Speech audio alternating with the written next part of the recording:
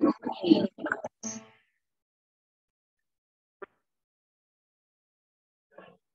and welcome again to our second second session of uh, Huawei SCNA or SCI certification module.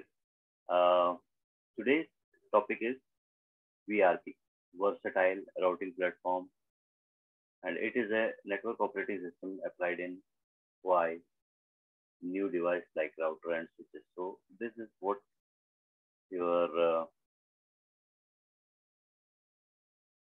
new software or in fact it is a software it is just a software as iOS uh, जैसे जिसको का iOS होता वैसा है इसके अंदर में इसका नाम है वर्सेटाइल वर्सेटाइल राउटिंग प्लेटफॉर्म और ये सभी के ऊपर मिशन है ठीक है तो इसके बारे में हम चीज़ें जानेंगे जैसे कि introduction to VRP, VRP command line, basic concept using command line, logging into a device, logging into a device through a console console port, mini USB port, then basic configuration, setting the host name, setting the system time, configuring an IP address of the for the device, user interface configuration, configuration file management.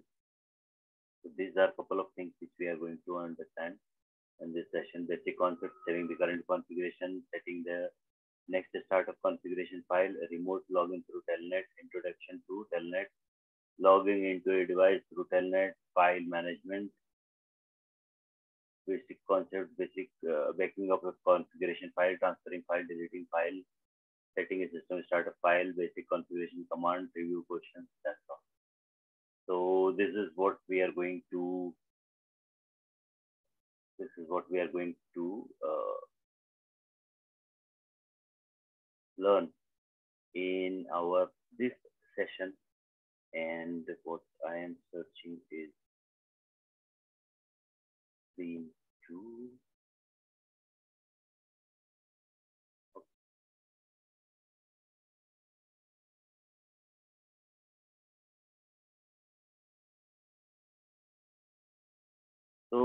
ये हमारा topic है पहला introduction to VRP जैसे मैंने बताया versatile routing protocol इसका, इसके software का नाम है मतलब इसके जो भी डिवाइस स्विच है राउटर है फायर वाले इनके अंदर जो सॉफ्टवेयर डालेगा वो तो जब शो वर्जन करोगे आप, वहाँ पर शो का कमांड नहीं चलता है, जैसे जिसको में शो वर्जन चलता है, उसमें डिस्प्ले वर्जन चलता है।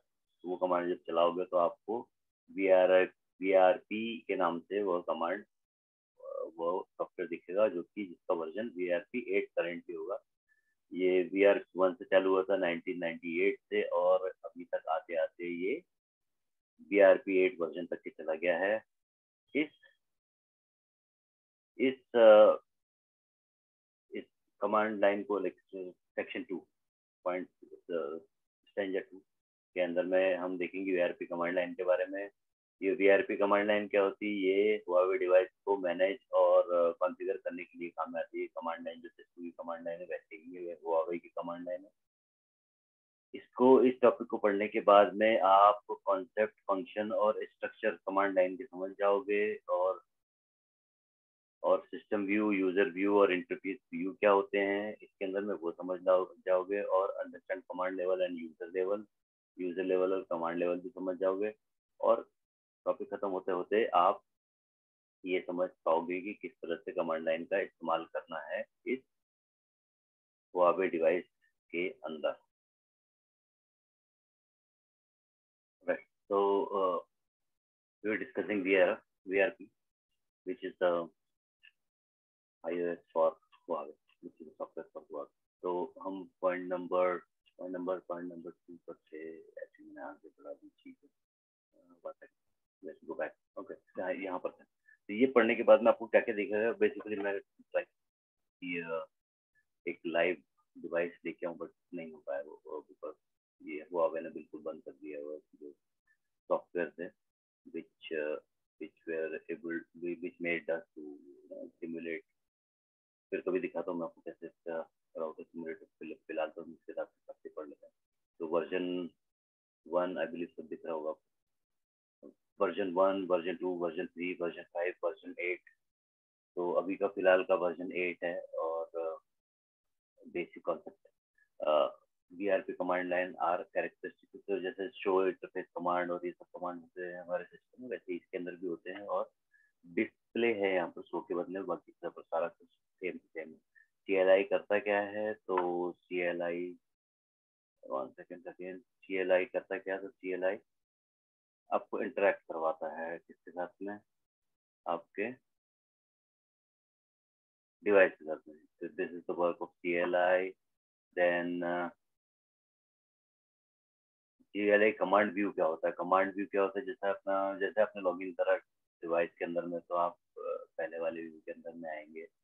और फिर होता है सिस्टम व्यू फिर होता है इंटरफेस व्यू तो ये यहाँ देखते हैं। जैसे ये अंदर घुसते तो आपको यूज़र डायरेक्टली के अंदर यूज़र भी कहलाता है ये। और इसके अंदर मैं ज़्यादा कुछ कर नहीं सकते, सिर्फ़ देखने वाली चीज़ें जो है वो ही देखने को मिलेगी इसके अंदर इस कमांड के अंदर में ठीक है तो ऐसी बात है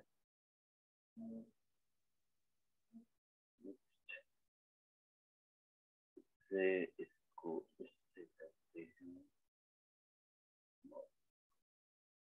फिर आपका जब आप सिस्टम व्यू टाइप करोगे तो आप सिस्टम व्यू चले जाएगा यहाँ पर आप सारा कुछ कर सकते हो। मतलब यहाँ से कॉन्फ़िगरेशन स्टार्ट कर सकते हो और बेजल कमांड भी इसके अंदर रन हो। सकती ठीक है? तो सिस्टम व्यू दबाएँगे तो उसके बाद में आप इंटरफेस व्यू में जा सकते हो। मैं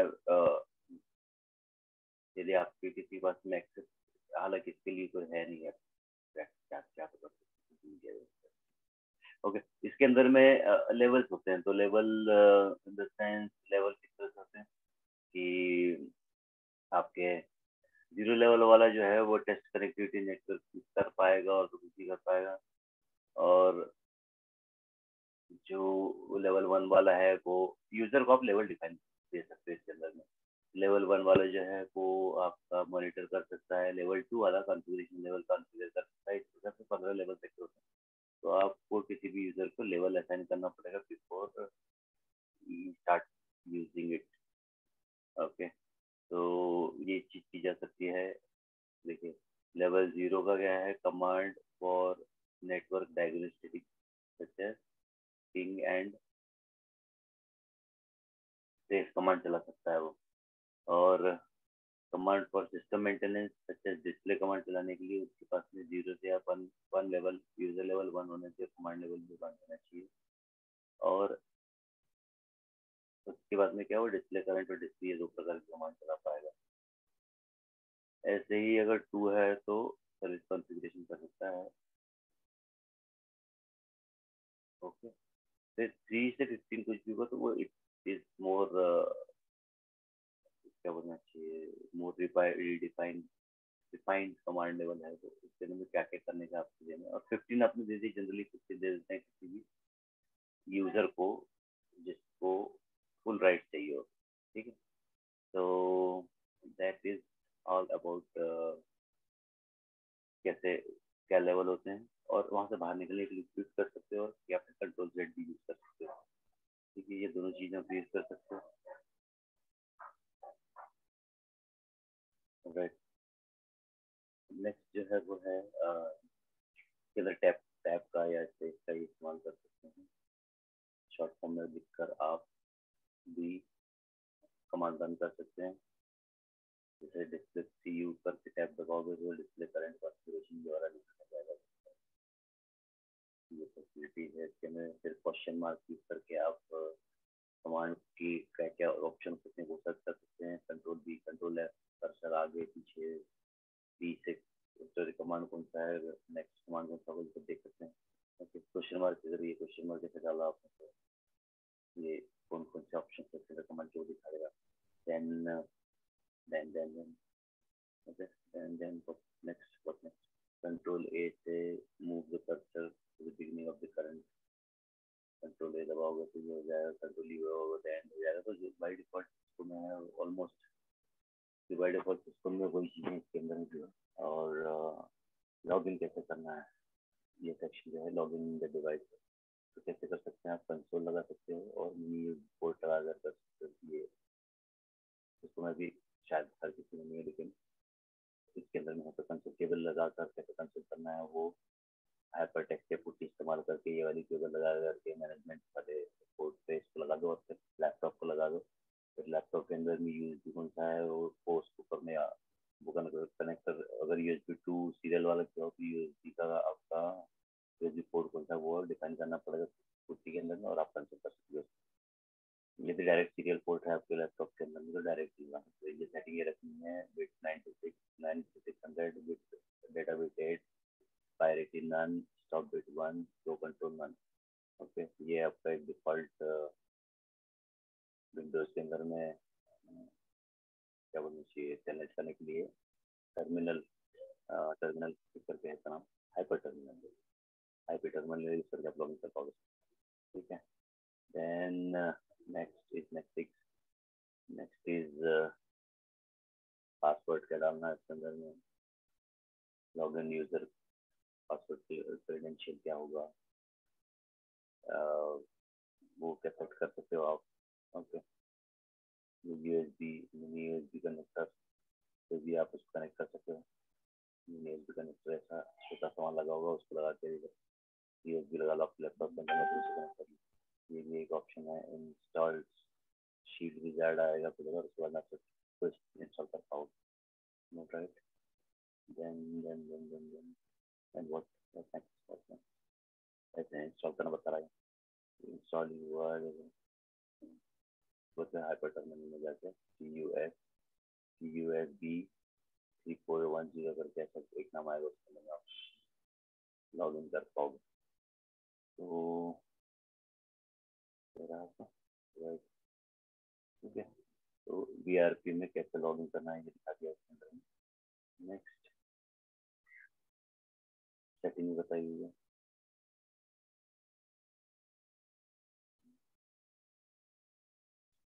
configuration क्या है set the host name set the system time configuration IP address configuring the user interface ये सारी चीज़ें कमांड जो है वो हम अभी नहीं देखेंगे और जब जब नेक्स्ट लैब वाला आएँगे उसके अंदर में देखेंगे लेकिन आई वेट थोड़ा टाइम कि there is no mechanism to simulate wow let's find out if there is any I'm struggling with the old one which आपको काफ़ी दिनों पहले उन्होंने बंद कर दिया था और अब पूरी तरह से माइक्रोसॉफ्ट ने भी उसको बंद कर दिया the virtual box वगैरह का थोड़ा issue so let me see if I can install on after devising uh, some another uh, simulator then in the next session we will do all of this things तो system के अंदर में user interface control user privilege level देने के लिए command है तो basically ये सब चीज़ें हैं यूज़र मैनेजमेंट की इसके अंदर बताइए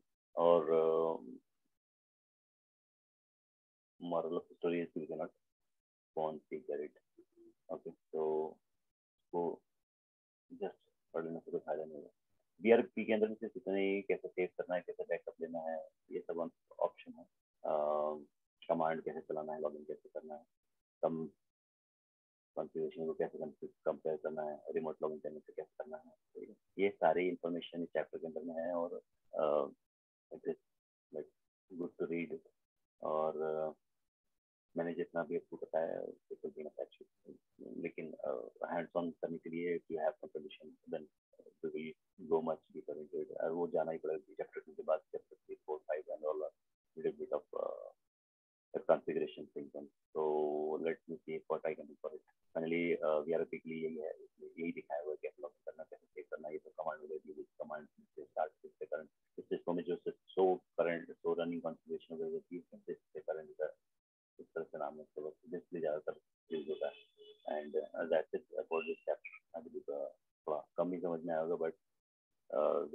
solution to it as of now.